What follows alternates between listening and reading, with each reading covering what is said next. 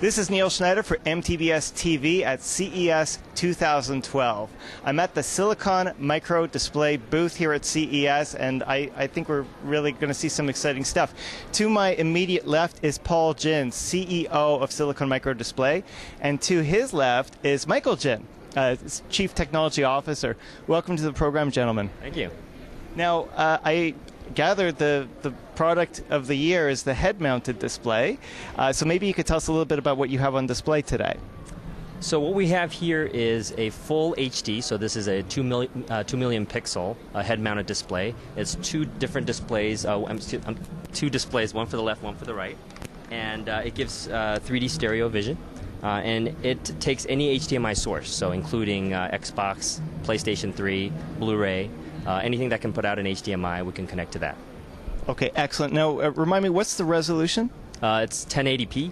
So it's a two million pixels. Yeah. So that's that's pretty unique. I, I, mean, I know there's other brands out there which have, have promoted HD content, but right. uh, to my knowledge, this is one of the first I've seen that is 1080p. That's right. Uh, there are other uh, competitor products out there that's a quarter HD, so it's about 500,000 pixels, and there's another uh, model that's a one million pixels, and ours is two million pixels. So we're the first one that has two million pixels in a consumer uh, price point. Excellent. Now, Michael, maybe you could tell us a little bit about the manufacturing of these displays, because to my knowledge, you know, at the consumer end at least, it's unheard of to, to have such high resolution on a head-mounted display. I mean, the, the highest I had seen previously was 640 by 480 per eye, and that was over the course of years. I mean, it, this is a, a major accomplishment. Maybe you could share a little bit as to how it's possible to get this 1080p, 1080p resolution on a head-mounted display. Okay, well, uh we actually uh, originally started as a company uh, providing micro displays for a rear projection TV that was uh, full HD. And uh, we just applied the micro display technology to the HMD units because we thought that our display architecture was unique enough that we could actually uh, achieve that. And that's the uh, end result is that we have now 3D full HD HMD. Excellent. Now, uh, when you're talking about the HDMI specification, uh, so can you tell us a little bit about, about what the limitations are or what we can expect out of HDMI with your product? Okay, well, um, uh, we are supporting a H- HDMI 1.3 uh, spec, 1.3A uh, to be specific.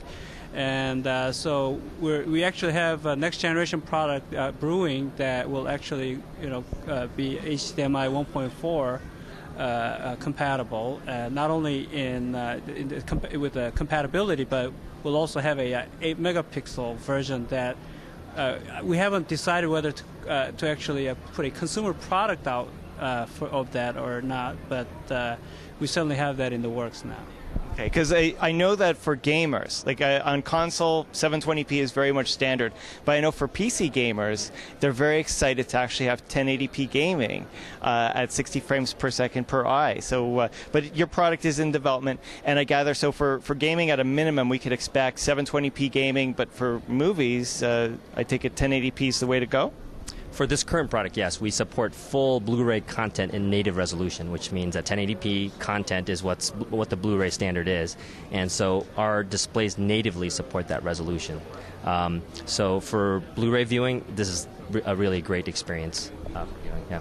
Excellent. Now, I think uh, from what I understand, you're going a little bit beyond the boundaries when it comes to, to gaming. I mean, when I'm thinking of 3D gaming, I'm thinking of you know PC gaming with DDD or NVIDIA drivers, or with console with Sony and PlayStation. Um, but I understand you're you're looking at something else as well. Can you give us some details? Yeah. So um, a, a, market that's really interesting to us is something called augmented reality. And um, our display is actually transparent technology, which allows you to view the content as well as the outside world and that really creates an interesting set of uh, opportunities in terms of creating whether whether they're games or whether they're just uh, um, useful professional applications where you can have a display on see the real world and see content laid on top of that, that world. Um, to give an example, so for, for a professional application, you could imagine uh, some service engineer out in the field, they're fixing something, and they can have the, uh, the viewer on, and while they're looking at what they're fixing, they can have the, you know, the instructions for how to repair that unit you know, displayed right on top of what they're looking at. Um, for more for a gaming side or more for kind of um, uh, more uh, mass consumer application, if you will, um, you can imagine uh, similar kinds of games that you see on gaming consoles or even on PC. You could potentially see uh, having two different signal paths: one to the main display, the big you know display monitor that you have, and then another signal path coming to the HMD unit. You can see through the HMD unit to you know to view the main content, but you can also have secondary content that's only on the HMD device itself. So you can imagine. For example, a driving game. You can see the road, you can see your dashboard down there, but on your HMD you will see other gauges and other you know, GPS information. Uh, another example, first-person shooter. The main uh, scenery is on the display, but on your HMD you will see your GPS location. Is this unit transparent? I mean, I, It is. So when we ship this unit, it'll be 10% transparent. Uh, we also have a second generation of this product, which will be 50% transparent, and it's, it'll be user user selectable up to 50%. Okay, so when we're talking about transparent, because uh, you know I'm looking at it and it's a black unit, and I'm trying to see where the transparency is, but we're really talking about like at the front of this, Yep. it would be clear that you can see right through. Right. For CES, our demo uh, booth, we decided to put this dark smoke glass in the front just so that you know people can view more content very quickly because it's a very bright environment. Um, but when we ship this unit, you know the user will have the option to purchase one that's clear, in which case it will have the 10% transparency. Excellent. Now let's talk a little bit about the unit itself. I mean, uh, how much does it weigh? How do you wear it? Maybe you could give us some details. So it's a 180 grams uh, for the HMD unit itself. Um, so it's a fairly light unit. Um, and how you use it, um, it basically has uh, the ear stems that are flexible, so you can adjust it to your eye. Just put it on, and I'm actually viewing, looks like Tangled content.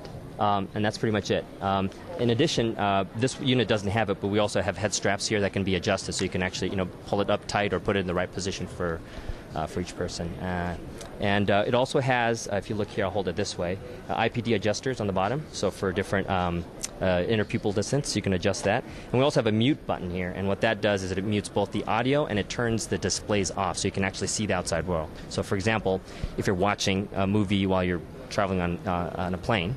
Uh, you could be watching content as the flight attendant comes. You can, you know, mute it, and you can still see them and order your drink, and not, you know, not miss that by, you know, being consumed in your uh, what you're watching. So um, that's what the mute button is really for. Um, and the headphones are right here. And this is basically the HMD cable that goes to the controller unit. And I'll actually show you the controller unit. Okay, so this is the controller unit. It's virtually the same size as an iPhone. It's a little bit thicker than an iPhone, um, but it has the power button. It has a, a OSD menu, on-screen display menu button, which uh, from which you can adjust brightness, flicker, um, and this is the adjustment of down, up, down uh, buttons. And this is the uh, another mute button here, which you can. It's the same function as the, the other mute button that you saw. Um, and that's pretty much it as far as uh, um, the two units are concerned. This so this is comes in a pair. Oh, and um, here's the HDMI input. And this is a micro USB, so this is powered by micro USB. So you can, if you have a portable battery pack, you can actually you know power it from that. Um, and then this is the HDMI connector that goes to the uh, um, to the goggle. Mi- Michael, quick question for you, but excellent, thank you. Uh, is there head tracking on the unit? Are you looking at options like that as well? No, we uh, decided that uh, to minimize the uh, functionality because any any functionality adds more weight and uh, additional devices that you have to put up here. So uh, actually, we like uh, uh, technologies out there like uh, Kinect. Uh, that you, you know it doesn't require any devices other than the ca- uh, actual uh, cameras. Um, uh, we think those technologies, instead of uh, you know us trying to adopt it, that we leave that to the, uh, the more experts in the field, and we'll we, uh, focus on the core technology that we, we know how to manage. And I'm curious, are there specific types of content that you're excited about? I heard about augmented reality, but are there specific markets that you're looking at that this will be directly appealing for? Well, uh, actually, for me, and as an engineer, I, you know, I, I love the movie uh, Iron Man because it has the uh, where uh, 3D uh, CAD program is utilized to actually, uh, you know, de- design the stuff in, in air. And uh, with this uh, uh, uh, 50% see-through, you can actually uh, uh, develop CAD programs to actually be able to do that. And uh, so those are kind of commercial applications that I like to see coming along. Excellent. So let's talk about availability and pricing. When is this going to be hitting the market, and how much can we expect to spend? Uh, as far as price, we announced in December last month uh, that these units will be sold for $7.99. Um, as far as availability, that's still TBD, but it's fairly close. So.